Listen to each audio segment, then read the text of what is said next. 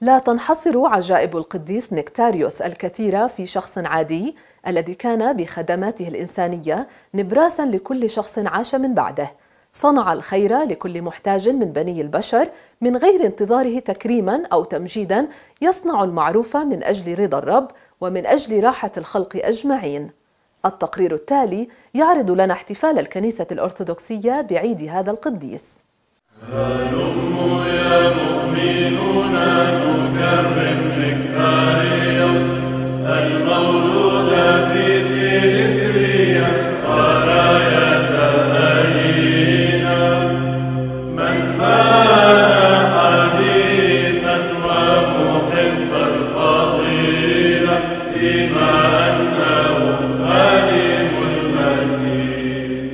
احتفلت الكنيسة الأرثوذكسية بعيد القديس نكتاريوس أسقف المدن الخمس.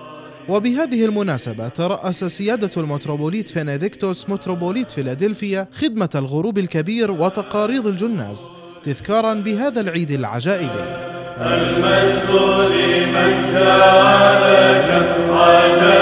عجائبيا شاركه في الخدمة قدس الأب بطرس جنحو والأب إليكسيوس قاقيش والأب نكتاريوس خوري. وبعد الخدمة تحدث سيادته عن عجائب القديس غير المنقطعة وعن محبة المؤمنين لسيرته العطرة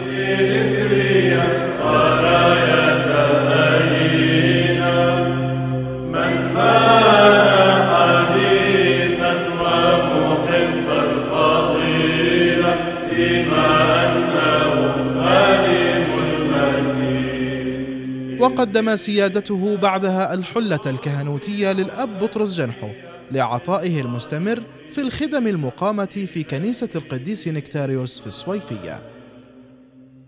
وتلا ذلك قداس احتفالي بحضور عدد من الآباء الكهنة وجموع من المؤمنين ومحبي القديس.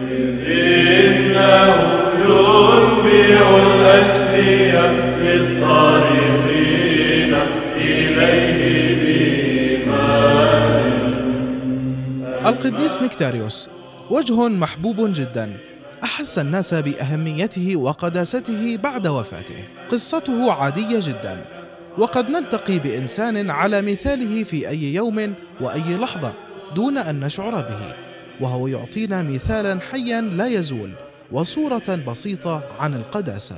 صورة خالية من التصنع والمواهب النادرة.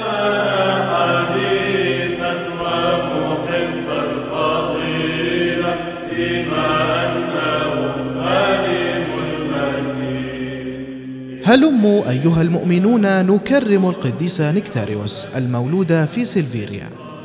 ظهر في الأزمنة الأخيرة إذ هو محب الفضيلة الأصيل بما أنه خادم المسيح الإلهي إذ ينبع الأشفية في كل الأحوال للصارخين إليه بإيمان.